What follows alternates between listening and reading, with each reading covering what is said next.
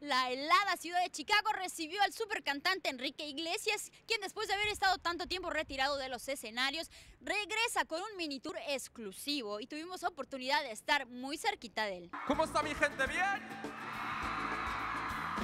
El viento y la fría noche no fueron pretexto para que la gente se negara a ver el espectáculo del supercantante que llegó a darnos calorcito con su voz de borreguito. En esta noche de espectáculo, Enrique reveló temas de su nueva producción que saldrá en el verano del 2007.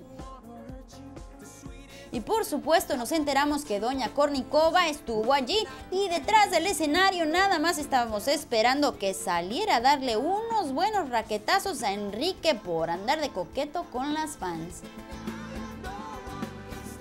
Enriquito, afloja un poquito esas caderitas y suelta el micrófono que no se te va a ir. La gente expresó su sentir en cuanto a Enrique y su regreso. Se tardó mucho. Sí, pero, pues, pero regresó. Muy bien, el concierto la verdad me encanta, ¿eh?